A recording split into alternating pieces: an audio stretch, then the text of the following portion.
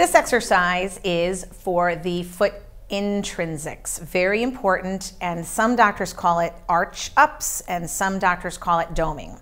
I like to call it a dome exercise. What we're going to have the dancer do is going to kind of lift through the metatarsals, keeping the toes very straight. That is very important.